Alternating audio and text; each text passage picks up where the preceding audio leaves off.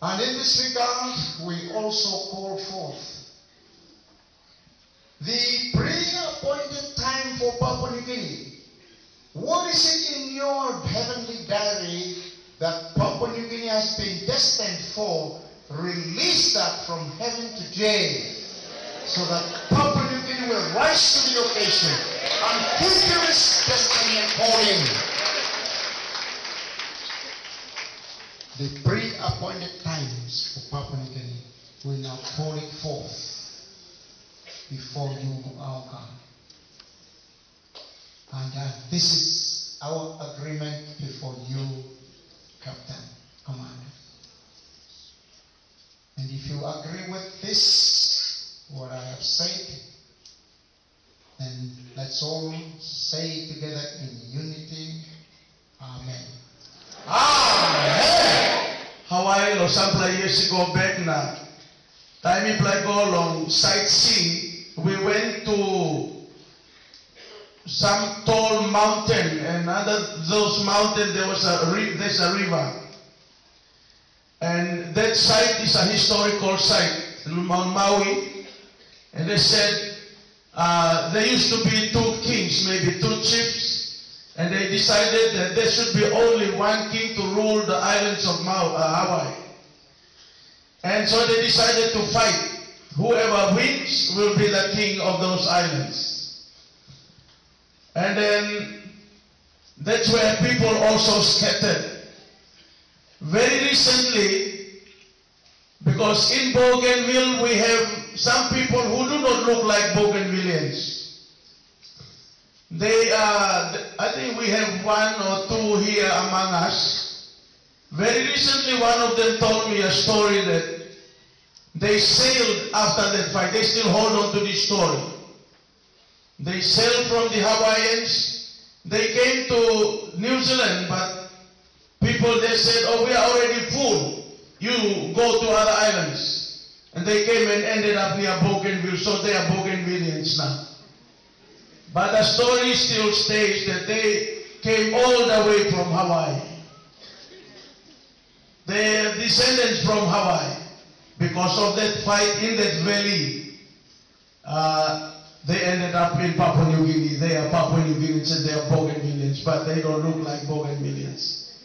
But we are proud to have them as our Polynesian Bougainvillean or Micronesian Bougainvilleans. Hallelujah. So we are ready. From the source of Papua New Guinea, the land of increase, the land of agreement, we now launch this move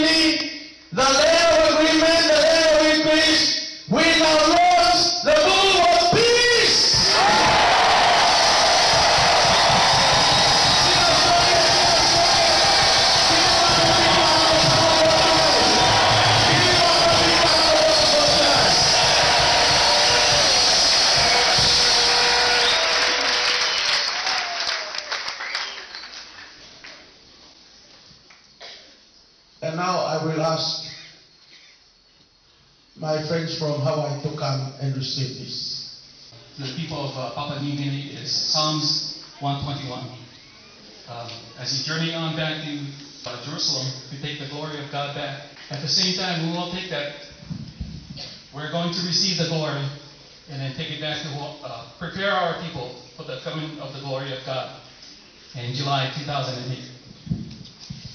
Ele akwai como makaina maona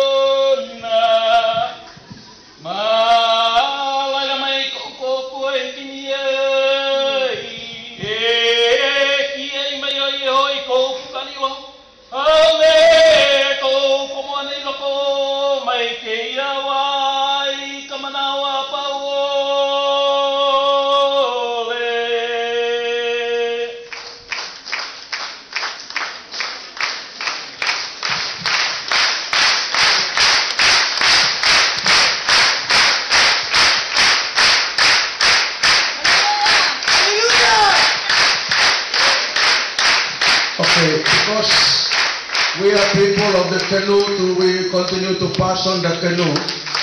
We are also giving them the canoe with the writing engraved here.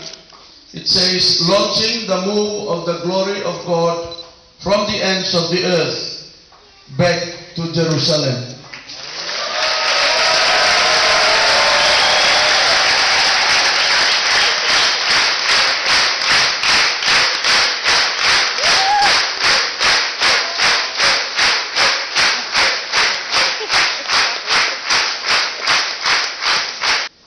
Uh, just a short word about Hawaii and uh, the next step.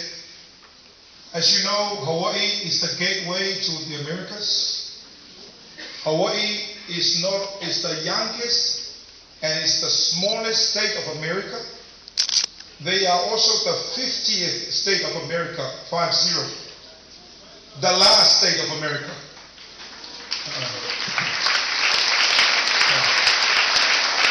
yeah, they, they are also the only state of America outside the mainland of America.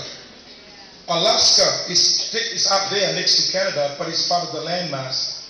This state is the only one, little islands floating in the middle of the Pacific. Remember in the Second World War, uh, when the war was going on, America refused to join the war until the Japanese bombed Pearl Harbor. And after the Japanese bombed Hawaii, and then America came full force and joined the war. And what the Lord is saying is this: when the Lo- this was the glory now is passing to Hawaii, the glory of the Lord will bomb Hawaii, and America has no choice. So Lord.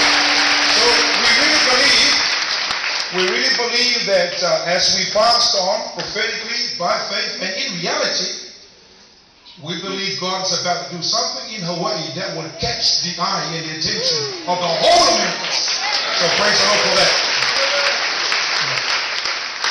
And uh, maybe one more thing is that that's 2008 next year, but the following year, 2009, is a very special year again for Hawaii because they will celebrate their first jubilee because they became the 50th state uh, in 1959.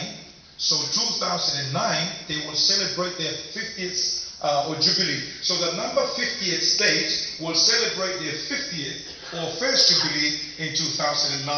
And we believe that will be the year where the glory will hit the mainland. Anyway, well, we'll just leave it at that. We'll just continue to look to the Lord and He will guide us and tell us what to do. But I think that's enough. Give you some idea that God knows all these things from the beginning before we were born. So it might be a surprise to you, but to us, but it's no surprise at all to Him. So let His will be done. Praise the Lord. Give a hand